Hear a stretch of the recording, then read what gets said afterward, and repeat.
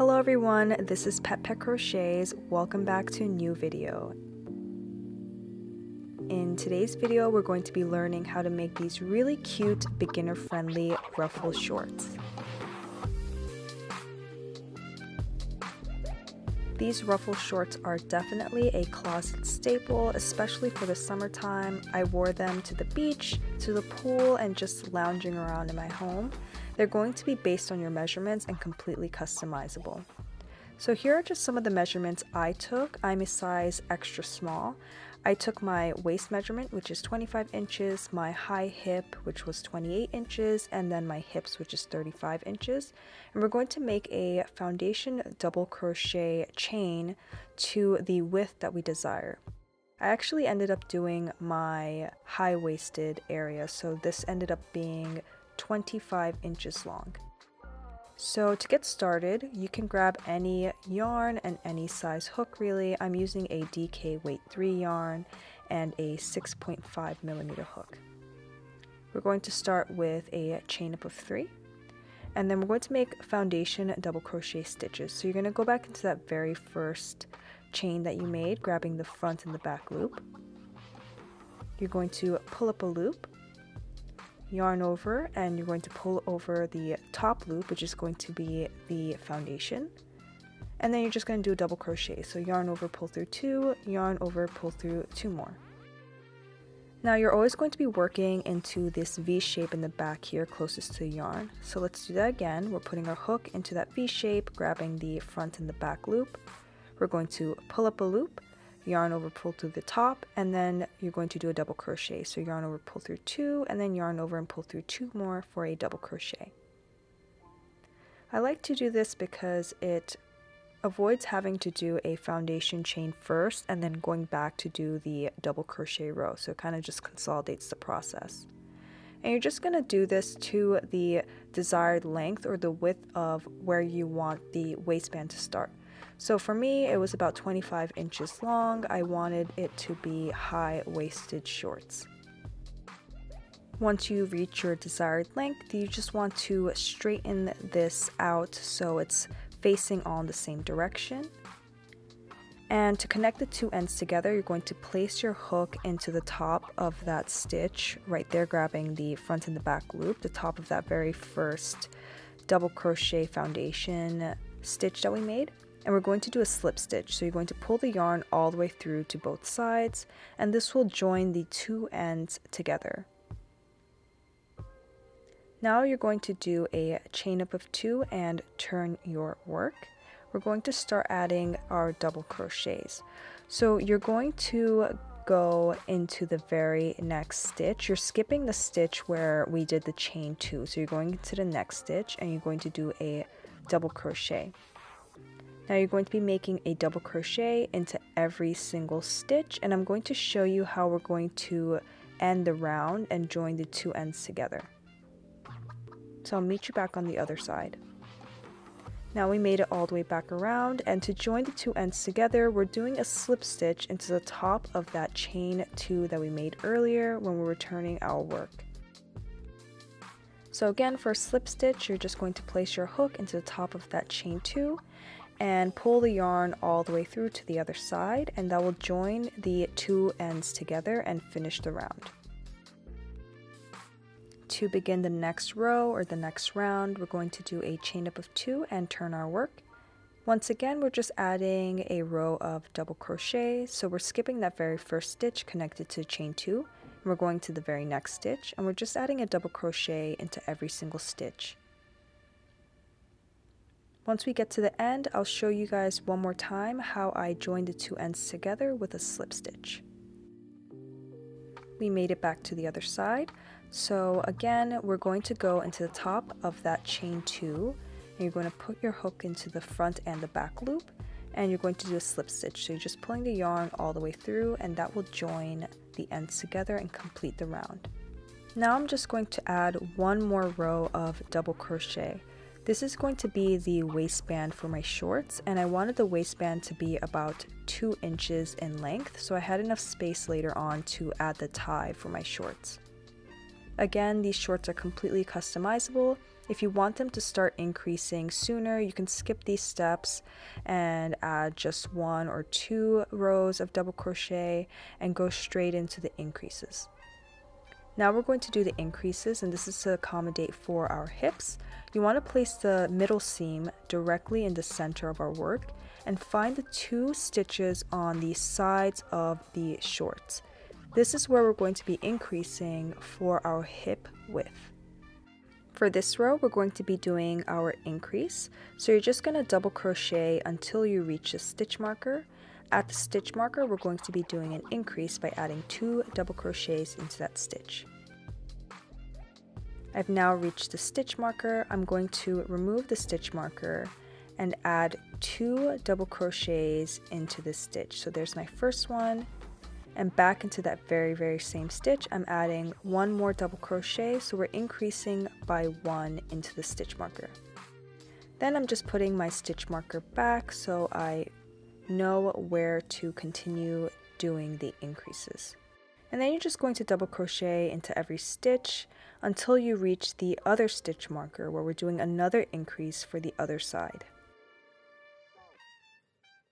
I made it to the other stitch marker so I'm going to remove the stitch marker and add one double crochet. And then back into that very same stitch I'm adding one more double crochet for an increase. So two double crochets into the same stitch and don't forget to put your stitch marker back so you know where to increase and then you're going to finish off by double crocheting and then you're going to slip stitch the two ends together to finish this round. For my shorts, I want to do alternating rows of increases and no increases until I reach the width of my hips. So I'm just going to show you guys how I do a no increase row. So you're just going to double crochet until you reach a stitch marker. Once you reach a stitch marker, you're just going to remove the stitch marker and add one double crochet into that stitch. I'm not doing an increase, so I'm just placing one double crochet and putting the stitch marker right back. Since these shorts are based on your measurements, if you find that you need them to increase more dramatically, you can do rows of increases rather than alternating like I did. And if you find that it's increasing too much, you can do two rows of no increases and one row of increase. You're going to continue crocheting rows, so I did alternating increase and no increase rows, until you reach your hip width. You can also just keep trying these on until they fit around your hips or you can use a tape measure. So at the end, I had about 17 and a half inches folded, which is about 35 inches, which is the measurement of my hip, and this was about 9 inches long. Now we're going to add no increased rows, just regular rows until we reach our crotch region. So that was just about 3 or 4 rows for me. Again, you can just keep trying them on until it reaches the point where we want to start the crotch for our shorts. You're going to place the seam of the shorts directly in the center of the pants and make sure that both sides are even. And now we're going to take a stitch marker and we're going to mark directly on the other side. This is where we're going to attach our crotch chain. So the center of the other side right there. And for this portion, I chose a 4mm hook I wanted the crotch region to have tighter stitches so I chose a smaller hook, but again, if you're using a different size needle, do what you feel is best for your shorts. Now you're just going to make a chain until it is the desired length for the crotch region of the shorts. I did a chain up until about two and a half inches long. So here I am just continuing my chain and now it's about two and a half inches and I'm ready to connect this chain to the other side back into that stitch marker we placed earlier. So that's the center of the other side. So I'm removing the stitch marker, placing my hook in, and we're going to connect this chain to the other side by doing a slip stitch. So you're just going to grab the yarn and pull all the way through. Once we complete the slip stitch, now the chain should be connected to the other side and we can work on our pant leg or short leg. So I put my other needle back in and I'm doing a chain up of one. And now you're going to be adding a double crochet across that chain that we made, but just into the top loops. We're working just into the top loop because when we work on the other side, we're going to be working into the back loop. So just add a double crochet into the top loop of every stitch along the chain. Once you reach the other side of this chain, you're just going to continue adding double crochets all the way around the leg hole opening. And then I'll show you guys how to finish off the round with a slip stitch. So I'll meet you guys back on the other side where we meet back where we made that first double crochet along the chain. So we made it back. This is the chain and the double crochets that we made for the chain and I went all the way around and we're back to the beginning. To finish off this row, we're going to be doing a slip stitch to join the two ends together. You're going to place your hook into the top of that very first double crochet we made along the chain and pull the yarn all the way through for a slip stitch.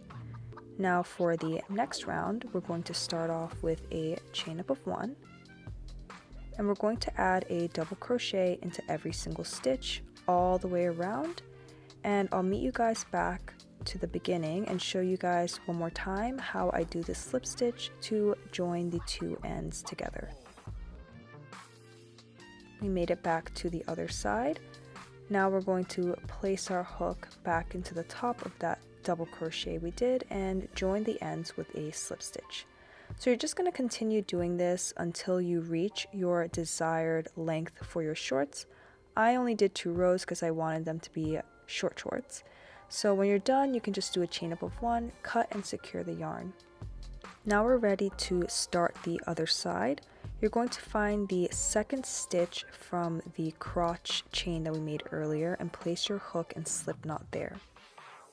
Once your slip knot is secure, you're going to add a double crochet into the very next stitch. And then you're going to start placing double crochets along the back loops. So this is the loops that were left behind when we did the other pant leg or short leg where we're working into the top loops. So you're going to add a double crochet into every single one until you reach the other side. Once you reach the other side, into the very next stitch right there, we're going to do a slip stitch to finish this round. For my next and final round, I'm doing a chain up of one and doing a double crochet into every single stitch. When we get to the other side, I'm going to do a slip stitch into the top of that double crochet right there. And that will finish off my second round. I only did two rounds for my shorts. Now instead of chaining one and cutting, I'm placing a smaller hook for the ruffles. So I'm using a size 4 millimeter hook and into those posts, these double crochet posts, you're going to be adding five double crochets. So those little bars right there under the double crochet stitch, I'm adding five double crochets. So the hook should go behind the post right there. And we're adding five double crochets. Now to start the next ruffle, I'm doing a chain up of one. I'm skipping one of these posts. I'm skipping that very next post right there. And I'm going to the next one and adding five double crochets. So this is a pattern you're going to keep repeating for these ruffles. I wanted my ruffles to be not so tight and close together. That's why I skipped one post. But if you want more ruffles, you can definitely go into every single post and I wanted the stitches for my ruffles to be tighter together that's why I used a smaller size hook but again if you prefer to use the same size needle you could do so. Once you finish the ruffles you're just going to slip stitch back into the top of that very first double crochet we made and we're going to chain up one, cut and pull the yarn through to secure and finish off the ruffles for the pant leg. For the other side, we're going to start with a slip knot and you can go into any stitch along the leg opening and secure the slip knot. Once that's secure, we're adding five double crochets into the post. So right there, you're gonna place your hook behind that post right there and add five double crochets. So basically we're repeating the pattern. Once you finish five, you're gonna do a chain up of one, skip a post, and go into the next post until you finish. When you're done, you can chain up one, cut, and pull the yarn through to secure. Now we're going to work on the tie for the waistband. This is just going to be a quick version of how I made the tie for the waistband. So you're going to start with a slip knot and place that on your hook. And then you're just going to chain until it's your desired length for the tie of the waistband. Once you get to the length that you desire, you're just going to go down along the chain that you made and put your hook in and do a single crochet. For single crochet, you're putting a hook in, pulling up a loop, yarning over and pulling through the two loops on your hook. And you're just going to place a single crochet down along the chain into every single stitch. And that will complete your tie. Here I'm just showing you guys how I added a little bead detail to the end of my tie. This is just so that the tie doesn't slip through or move around the waistband. Whether or not you have a bead or something at the end here, you're going to want to secure the ends with a knot. This is after you weave the tie through the top of your shorts along the waistband. You don't want to add the knots before you add the tie along the waistband. Once you finish adding the tie along the waistband and added your knots, all you have left to do is to take your darning needle and weave in all the little ends. When we're all done, this is what the final product should look like. These shorts are perfect to make if you're a beginner. The ruffles add such a nice texture and detail to the shorts, and they're definitely a summertime closet staple. If you guys like this tutorial, please like, comment, and subscribe. I have many more tutorials on the way. Thank you for watching, and I'll see you in my next video. Bye, everyone!